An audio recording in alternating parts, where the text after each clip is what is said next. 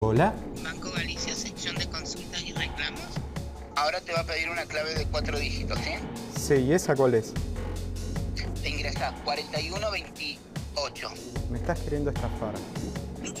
Me estás haciendo generar una clave con un código que vos me estás diciendo. ¿Cómo que no me estás robando un, toque?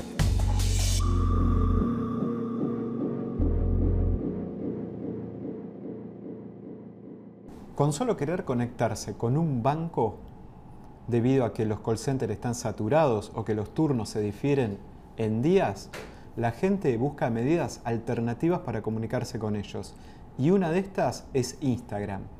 Vamos a buscar un banco, en este caso Galicia. Y con solo seguirlo, ya estamos siendo visibles para los cibercriminales que pronto empezarán a comunicarse con nosotros para robarnos nuestras contraseñas y passwords. Con tan solo un minuto ya hay una ejecutiva de cuentas haciéndose pasar por Banco Galicia que quiere contactarme. ¿Qué es lo que quiere? Quiere mi número de teléfono en este momento para empezar a conversar. Claramente los bancos no hacen esta acción. Ahí va, ¿eh?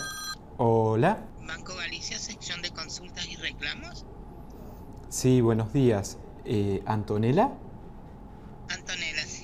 Ah, ¿cómo, estás? No, no. Bien, bien, ¿con quién tengo el gusto de hablar? Mi nombre es Raúl. Yo necesito corroborar un factor de seguridad que se llama Token Galicia, que usted lo tiene activo en algún dispositivo móvil, porque me figura como que está activo. Ah, me mataste. Me mataste. ¿Y no será que hace mucho que lo hice y no lo recuerdo?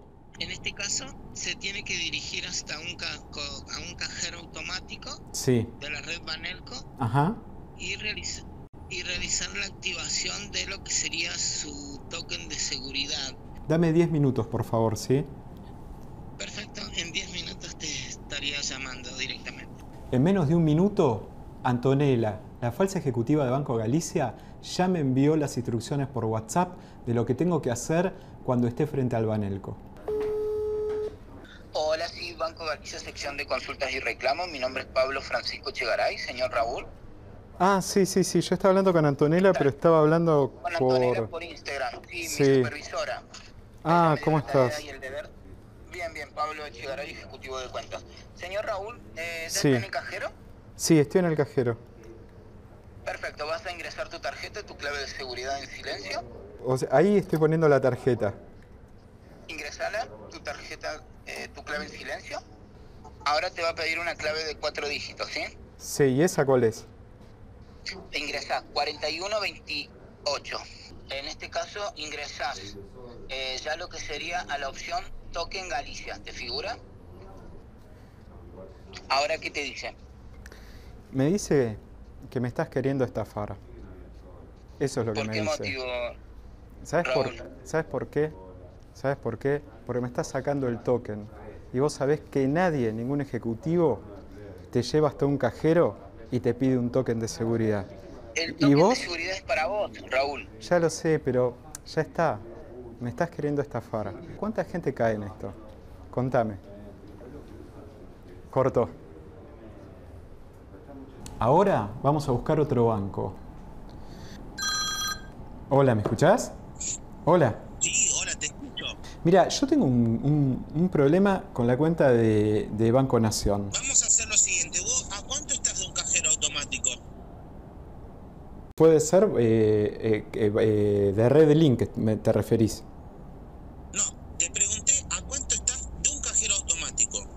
No, ¿por qué operas? Sé que operas por Die- eh, diez es minutos. maduro eso. Dale.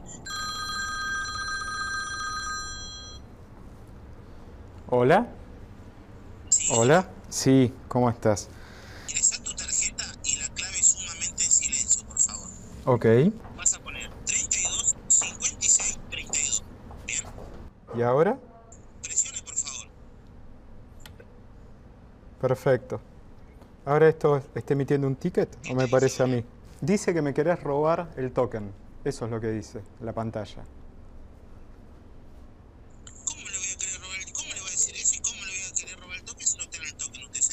Dice eso, que nunca un ejecutivo de un banco va a llevar un cliente hasta el cajero y le va a hacer sacar el token para que después se lo repita. Me estás haciendo generar una clave con un código que vos me estás diciendo. ¿Cómo que no me estás robando un, un token? Y eso no es el token. Primero ¿Y por qué me das vos la clave? ignorante. Primero asesorate ignorante si no sabes de sistema. Cortó. Así se enoja un estafador cuando lo descubran. Ahora vamos a buscar otro banco. En este caso, Banco Provincia. Y ahora solo resta esperar. Julio Ernesto López. Sí. Son dos aplicaciones. Está Home Banking Banco Provincia y está la aplicación Big Token Banco Provincia. La aplicación Home Banking Banco Provincia es para visualizar todos tus movimientos. Y vos ahí ingresado tu Home Banking, te ingresa a tu usuario y tu software con perfectas condiciones. No, no, no. Bueno, ese es parte del, del- del problema que estoy teniendo en este momento, ¿no? En este caso, se tiene que dirigir hasta un, a un cajero automático. ¿A cuánto está un cajero automático? La aplicación Home Banking Banco Provincia para visualizar todos tus movimientos. Bueno, estamos acá con Dex eh, prendidísimos con este informe porque te pasa a vos, nos pasa a cualquiera. Hoy por hoy, por el tema de, de la pandemia, todos hacemos virtual, seguimos a los bancos, haces por internet, compartís, transferís. Pero una cosa es Julio López o Domi o yo, que a lo mejor tenemos que poner un poco más de cancha, pero gente que se subió al uso de estas herramientas desde que los bancos no abren para el público, que es un desastre lo de los turnos y que tienen que hacer todo online, hay mucha gente que es la primera vez en su vida que usa todo esto. Ahora, me quedé maravillado, estoy haciendo la prueba en vivo, de cómo, cómo te pescan, ¿Cómo te capta? ¿Cómo, cómo te para agarran la te primera vez. A ver, para explicarles a todos, la gente no puede comunicarse por los call centers, ¿sí? Entonces, ¿qué hace? Va a Instagram, busca el banco, el banco está verificado, es la cuenta del banco real. Sí, perfecto. Vos le das seguir. ¿Qué están haciendo los atacantes? Están viendo la lista de seguidores. Y cuando ven que uno entra, el último, saben que esa persona seguro tiene un problema detrás. Y con una cuenta falsa, que dice ser Julito punto Banco ejecutivo, Nación. ejecutivo de cuentas Banco Nación 228, desde esa cuenta te dicen, hola, ¿cómo estás? Y te tiran un menú como si fuera automatizado para decirte si tenés problemas con tarjetas eh, eh, y te da opciones. Y te dice finalmente, dame Anda un, teléfono. anda No, un no, cajero. te dice primero, dame un teléfono. Le das el teléfono y en ese momento él te llama y esa es la interacción que ustedes vieron. Te lleva hasta el cajero. Y ahí es donde se produce Ahí, ahí te empiezan a embarullar, ¿no? Porque ahí ya empieza el cuento del tío tradicional que te Generame una clave, que en realidad lo que hacen es que ellos mismos generaron la clave para que después eh, entren. En realidad, lo que va a hacer un atacante es que pongas la tarjeta de crédito eh, de débito en el cajero. Sí, Una vez que la pones, va a querer blanquear tu usuario de internet, claro. de banca. Y lo segundo, va a sacar un token nuevo. Una vez que vos le leíste el token nuevo que sale impreso, inmediatamente Perdiste la cuenta. perdiste la cuenta. Perdiste Ah. la cuenta. El- Vamos con Hay algunos consejos, mira. consejos, dale. A ver, porque hay palabras, este, y hay algunos consejos muy básicos y hay palabras que te explicamos qué significan. A ver. ¿eh? Nunca compartas token, contraseñas ni claves. Token es lo que reemplazó a la, a tarjeta de coordenadas, ¿se acuerdan que había antes? El token es eso, la versión Esto nueva. es eso. importante. El token no se lo tiene que decir a nadie nunca.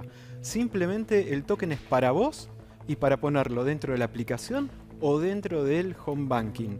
Pero nunca un ejecutivo de cuentas nos va a pedir que ¿Por le qué te leamos decían, el token. eh, mientras vemos otros consejos, eh, nunca entabló una conversación con una cuenta no verificada? Pasa que a veces, ¿cómo sabes si está verificado o no? Primariamente lo que tenemos que saber es que el simbolito azul es el que te da el verificado, pero si yo seguía Banco Provincia, no va a comunicarse un ejecutivo de cuentas Banco Provincia 228. Se, se tiene que entablar la comunicación desde la misma cuenta que A está que verificada a la que yo seguí. Bien. Pero ¿sabe qué? Si todo esto lo embarulla mucho, quédese con el call center. O sea, seamos un poco honestos y sepamos cuán- cuáles son nuestras limitaciones Exacto. Y sepamos qué canal usar. Vamos con algunas de las que son básicas y que son para todos.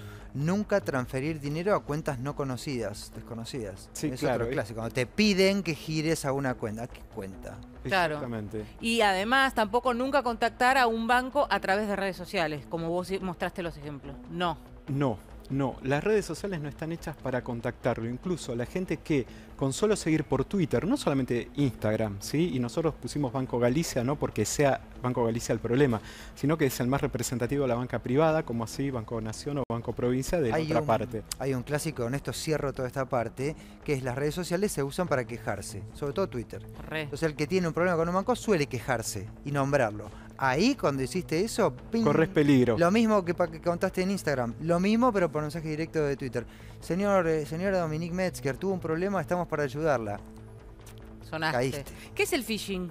El phishing es cuando a vos te envían un mail y te dicen que son, de- so- que son del banco y que necesitan que vos cliques aquí para hacer alguna acción que tiene que ser ya. Entonces vos cliqueás, pensás que estás entrando al banco y te pide el usuario y el password y ahí es donde te lo roban. Y a partir de ahí ellos pueden entrar a la cuenta por vos. Es muy importante saber que de un mail nunca tenemos que cliquearlo e ir al banco. Cuando vamos al banco, vamos al banco y ya. Y tampoco si nos llega algo por WhatsApp con un link, tenemos que cliquearlo e ir ahí. Bien. El, el- el resumen es, si tenés un problema con un banco, llama a vos. No espere que te llamen. Y no te van a llamar nunca. Eh, esto pasa con los bancos, ¿no? Sí. O esto es para el tema, esta es